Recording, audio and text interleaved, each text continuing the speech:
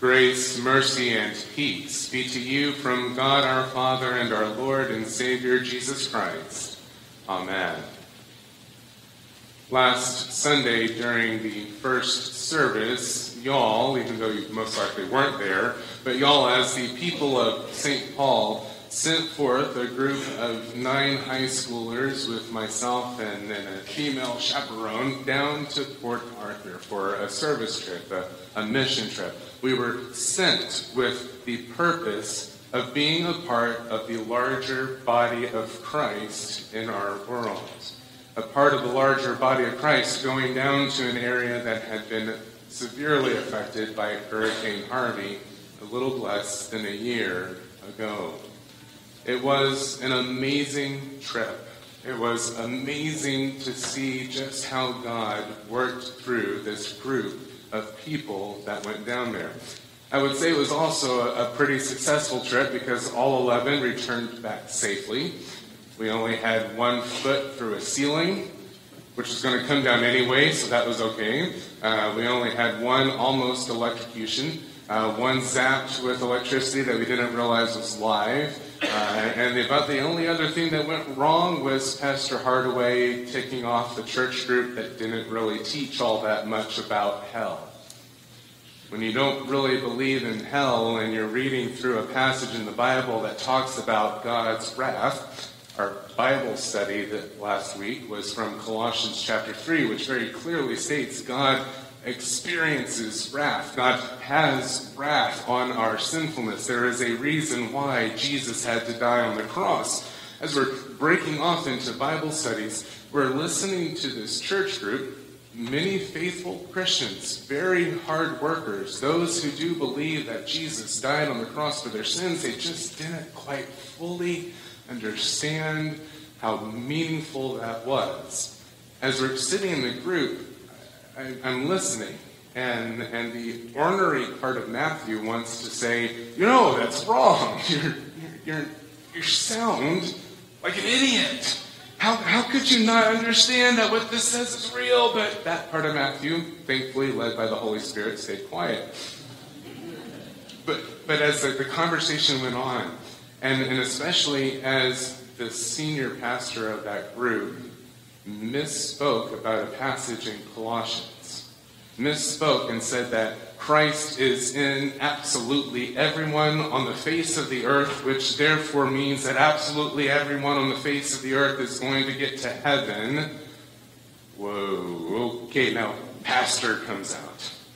And after a few more minutes of praying and wrestling with, with how to approach this, not, not just to proclaim truth, but also to make sure those of our own group that were there understood what you're hearing is wrong, I spoke up.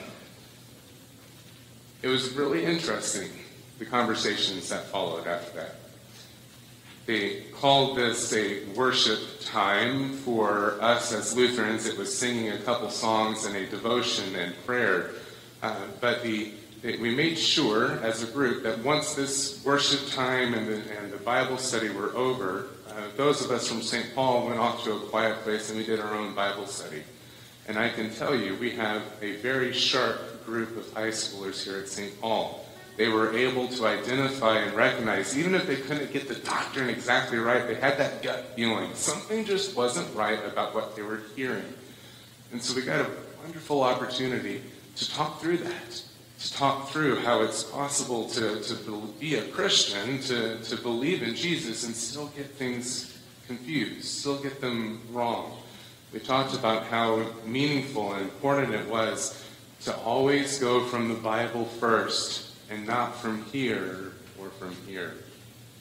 Each evening there was a, a devotion time, and there were uh, the other group had about 30 or 40 people with them, so a much larger group than ours. They, they divided up the four evenings that we did this amongst the leaders and the pastors that were there.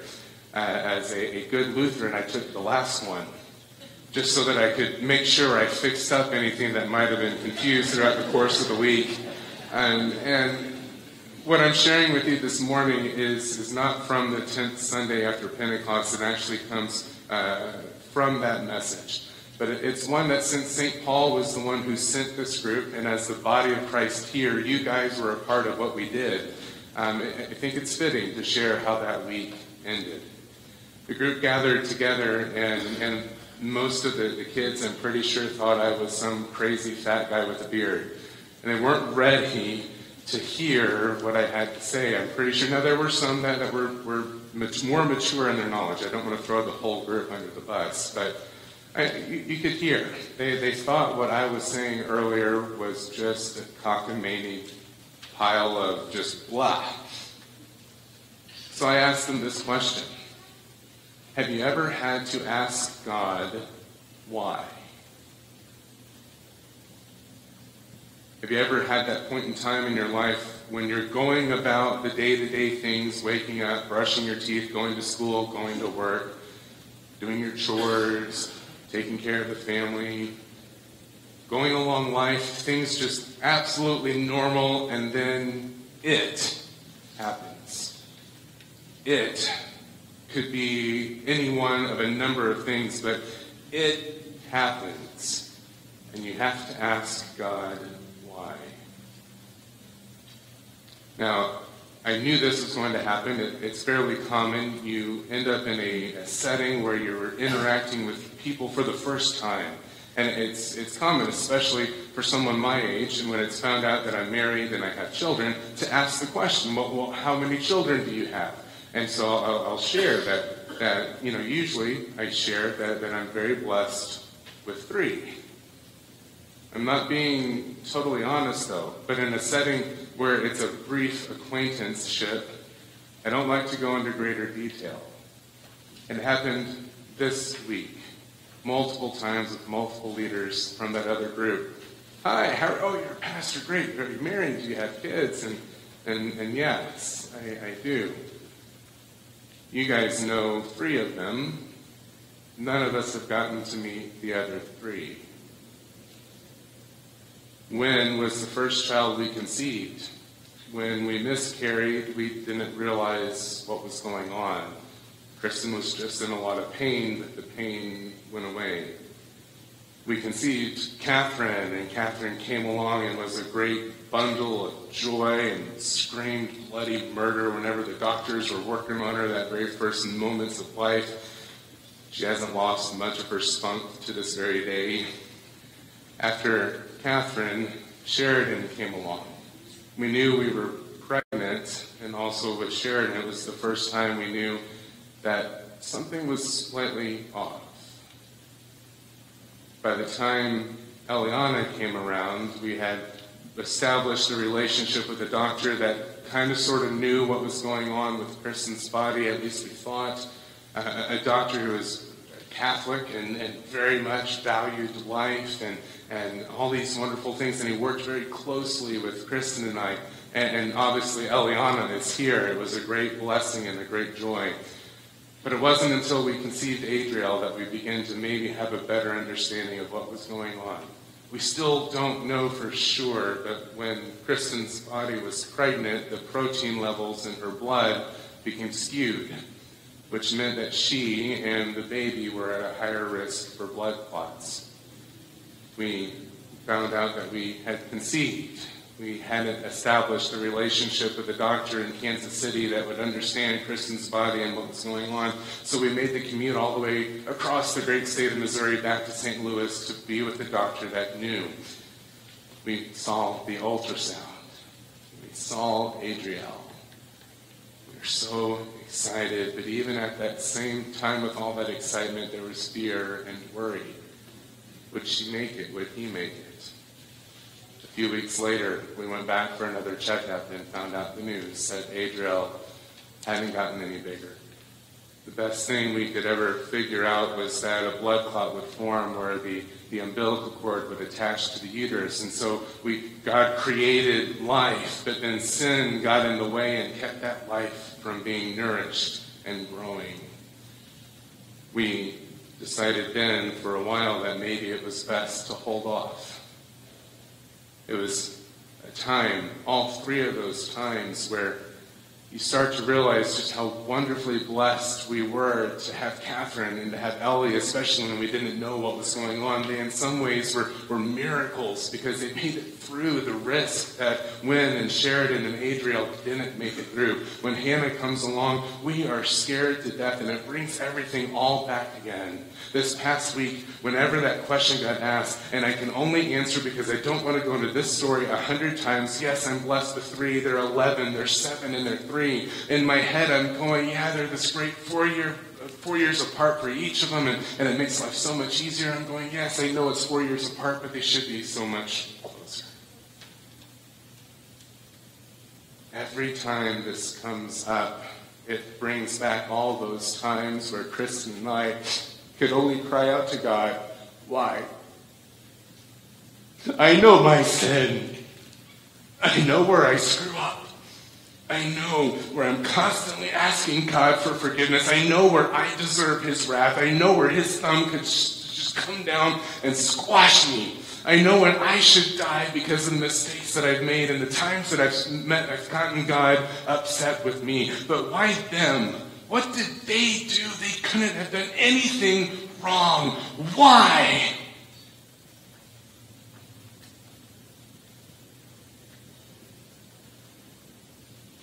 When that question gets asked, the book of Job is the book I typically go to to read. In Job chapter 1, we get introduced to Job. The man was blameless and upright, one who feared God and turned away from evil. He had seven sons and three daughters. He possessed 7,000 sheep, 3,000 camels, 500 yoke of oxen, 500 female donkeys, and very many servants. So that, scriptures say, this man was the greatest of all the people in the East. You could think of him as a modern day version of a devout Christian who is Donald Trump, Tim Bezos, Mark Zuckerberg, and Bill Gates combined. This was Job.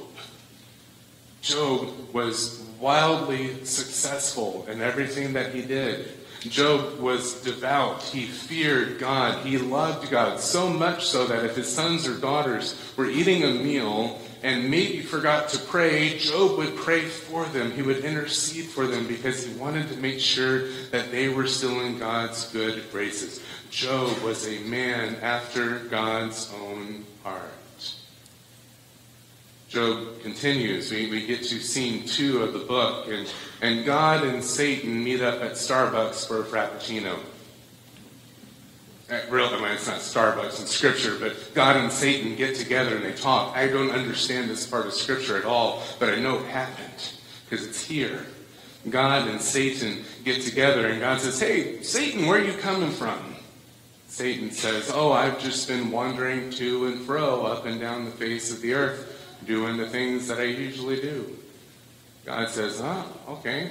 Well, hey, have you seen my servant Job? That is a man who hasn't done any evil. He loves me. He seeks after me. He trusts in me. And Satan scoffs and says, Oh, yeah, of course, God. You've given him everything. He's got no trouble in his life. I bet you anything. If you cause some trouble in his life, he'd turn his back on you. God says, Okay, have at it. You can cause all the trouble in his life that you want, Satan. The only thing you can't do is take his life. That's mine. So we read as Job loses all of his livestock. We read as Job's sons and daughters die. We read as all of his property is just swallowed up and disappears. We read as Job's health deteriorates and he gets sores and painful pain all over his body, so much so that all he can do is sit in an ash heap and cry out to God, Why? This past week, we got to, our team that was in Port Arthur, got to meet Mr. Roosevelt. Mr. Roosevelt was a family man. He drove trucks for a living. He raised four children. He was a hard worker. Joe, Mr. Roosevelt bought his house about two years before Hurricane Harvey hit. He bought the house, I'm pretty sure, because he needed to downsize. Few years prior to buying the house, his wife started having some stomach, stomach issues. They thought it was GERD. They thought it was acid reflux. They prescribed medicines. They thought it was going to work. The medicines didn't work. And it wasn't until an accidental test by a doctor that they found out it was stage four cancer. She died within a few months of the diagnosis. Mr. Roosevelt lost his wife suddenly, and then the hurricane comes, and within his house, water comes up to five and a half feet. Mr. Roosevelt is all of maybe five foot ten. Mr. Roosevelt was a spry, eight is a spry 83 years old, and every time we would go to his house to help him with sheetrocking and, and mudding and taking down ceilings and painting mold preventative primer paint on studs, every time we were there, he had a smile on his face. And just about every morning that we got there, he would climb out from underneath his house where he himself was working to replace the 2 by 12 beams that ran underneath the house because they discovered they had been rotted. Mr. Roosevelt had a smile on his face even after we broke into his house accidentally and set off the security system. We, we joked that probably be the only time Port Arthur police would drive up to a house and see all 11 people on the front porch who just tried to break into it, but security team called him and he said, Oh, no, that's okay. They're my friends. They're helping me out. Mr. Roosevelt had every reason in the world to cry out, Why? So did Miss Katrina, Miss Deborah, Mr. Hudson. So did the solid waste employee. Second day we were there, solid waste from Port Arthur comes. They bring this giant truck with a, a big claw that comes out the, off the top, and the claw comes down and picks up all the rubbish and puts it in the back of the truck. The uh, truck had two workers on it, one to operate the claw, and the other was the driver. And the driver saw that we had kids that were working, so he got out of the truck to help make sure that no one got too close to the, the claw. He was there just for, for safety reasons. So I walked up to him and introduced myself and, and and asked him, well, how long have you been in Port Arthur? He said, all my life. But how bad was the damage to your house? He said, have you ever heard of PTSD? Said, yes. He said, every time a cloud comes in the sky, every time a drop of rain falls near me, I go into PTSD. He watched as his house flooded, and as it got to about 3 o'clock in the morning, he was outside hanging onto a floating raft, a floating something, scared to death because he didn't know how to swim. Waters are rising, rain is falling, there's currents all over the place. He has no clue how he's going to stay alive. He has no clue what's going on outside of the fact that the hurricane is there until he gets rescued by a helicopter. Every day he tries to go to sleep and he struggles because of the memories. The people in this town, the people all up and down the coast, even not even just Hurricane Harvey, but forest fires across the world, tsunamis, whenever these tragic events happen, innocent people get hurt. Innocent people lose property. Christians cry out, Why? What did I do to deserve your wrath, O God. It's helpful to go back to Scripture at times like this. We learn from Paul when he writes to the Romans in chapter 8, beginning at verses 22, that sometimes these things happen because of sin, but it's not my specific sin that caused it when Adam and Eve fell into sin in the Garden of Eden, it wasn't just humanity that became broken. Paul writes at verse 22 of chapter 8 For we know that the whole creation has been groaning together in the pains of childbirth until now. All of creation has been affected by sin. This is why we have tornadoes. This is why we have temperatures over 80 degrees. This is why we have droughts. This is why we have hurricanes. This is why we have global warming or global cooling, whatever you want to complain about with our earth and our weather and, and all those problems, it comes from us. It comes from sin and the effects that it has had on this world the other thing that affects us isn't always the sin that we commit, but just like Satan admitted to in Job, what is, Satan, what are you up to? What are you doing? I, I, I've been wandering the face of the earth, up and down, left and right. Peter expounds on this in 1 Peter chapter 5, verse 8, when he describes this situation. He says, Be sober minded, be watchful. Your adversary, the devil, prowls around like a roaring lion, seeking someone to devour. We can say that there's that God loves everyone and that God desires for everyone to be saved. That much is true. Scripture tells us as much. But to deny that there's an effect of the negative effect of sin on the world is closing a blind eye to what's painfully obvious. Satan has been given dominion over this world. Yes, Jesus died on the cross for the sins of all humanity. On the cross, as Jesus died, as he was raised from the tomb, as he has ascended to the right hand of God, he is victorious over sin, death, and the devil. But the battle is still going on until he comes again. And Satan still, to this very moment, is trying to thwart anyone who has faith in Christ to turn their backs on him, to do what Job wouldn't do to turn his back on God and say, God, you're the reason why all this happened, and I hate you. I don't like you. I don't even believe in you anymore. Job wouldn't do it. Mr. Roosevelt hasn't done it. And even at times where I've been tempted, Scripture keeps calling me back to Christ. Job speaks beautiful words, 19 chapters into the book. Job's friends come to him after he's uh, naked in the ash heap, covered in sores, and crying out in pain, crying out why. His friends come to him and say some of the most asinine things you could ever possibly hear to someone who's suffering. Job even will admit at times, maybe I did do something wrong, but I don't know what it is. And if I did, yes, I deserve to be treated like this. But until I know what I did wrong, how can I even say I'm sorry? I am innocent. I shouldn't be experiencing this. And his friends scoff and say, You must have done something wrong. Just look at you. Job still does not turn his back. And even in the midst of all this, he speaks beautiful words in Job chapter 19 beginning at verse 23. He says, Oh, that my words were written. Oh, that they were inscribed in a book. Oh, that with an iron pen and lead they were engraved in the rock forever. It's his way of saying, listen closely, because what I'm getting ready to say is very important. It is a core part of who Job is in his faith. He says, For I know that my Redeemer lives, and at the last he will stand upon the earth. And after my skin has been thus destroyed, after I have died, yet in my flesh I shall see God. I will see him for myself even when all this is over and I am gone. I will see him and no other. Job confesses his faith in Christ hundreds of years, possibly even before Moses.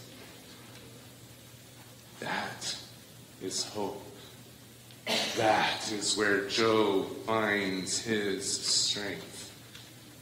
When sorrows come, when trials and temptations assault us, when we're just going through life and uh, it's minding our own business and, and there's medical diagnosis of cancer of diabetes, when there's miscarriages, when there's floods, when there's tornadoes, when there's any type of property that, uh, any type of uh, uh, problem that we face in this world, and we cry out, why?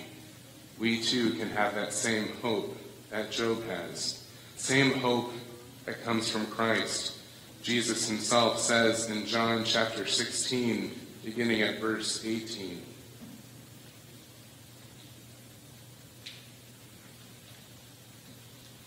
Not verse 18.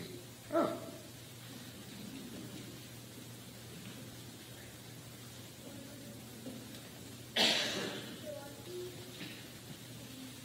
They are not of this world, just as I am not in this world. Jesus says, The world hates me. The world belongs to Satan, and Satan hates me. You are living in this world, and the world hates you. The world is going to attack you. The world is going to try to hurt you. But take heart. Jesus says, I have overcome the world. Jesus never promises that this life is going to be easy. Jesus never promises that we're going to be blessed beyond all means. Jesus never promises that we are only going to experience good in this life. Jesus never promises that being a child of His means you're always going to smile and you're always going to be happy and things are always going to go well for you. No, Jesus says you will have trouble in this world, but take heart. You are mine and I have overcome the world. My Redeemer lives. Jesus, our Redeemer, is living now as we speak, and He's watching out for us. He is loving us. He is interceding for us. He loves us. All too often, we like to take that phrase, Jesus loves me. I say it to you, Jesus loves you. And we take that and we use it to cover up the problems that we have in this world. We use it like a rug. Oh man, I, am having a rough day with my sinfulness, but Jesus loves me. Life is better. We, we say, oh no, grandma just got a diagnosis that, that's not really good, but it's okay, Jesus loves us. And we put Jesus loves me as a rug to cover up whatever that sin problem is. We're doing a disservice to what Christ did for us on the cross. Jesus did not die on the cross so that he could be a rug that we use to cover up our problems. So we, he could be a rug that we just walk on. We just use to clean off the bottoms of our shoes when we don't acknowledge just how powerful it was what, what Jesus did for us, we miss that Jesus dying on the cross wasn't just to cover up our sin, but it was to completely fix our sin problem once and for all. We know that our Redeemer lives, and because he lives, we don't get to walk over him. We get to cling to him. We can see him when he's on that cross dying for our sins, and we can cling to that cross. We can see his love poured out for us on that cross, and we can trust that that love was for me, that love was for you. And as his followers, as his brothers and sisters, as those baptized into his name, we can live in his word. Because it's in his word that we find our strength. It's in his word that we find our hope. And it's in this word that we find his truth and his love. It's in his word that Job found his hope to make it through all that Satan was doing for him. It's in this word that Mr. Roosevelt is finding his hope as he slowly gets his house put back together. And it's in this word that you and I have our hope too. That no matter what may come our way, Jesus is with us. He does not abandon us when trials may come. He walks with us. He carries us. And at the last day, when this flesh finally fails, when this breath no longer works, when the brain shuts off, I am not abandoned and I am not alone. I know that I will stand and see my Redeemer. We will see each other face to face, and I will get to be with him forever in eternity. That is our hope. In Jesus' name and for his sake, amen. And now the peace of God, which transcends all understanding, guard your hearts and your minds in Christ Jesus our Lord. Amen.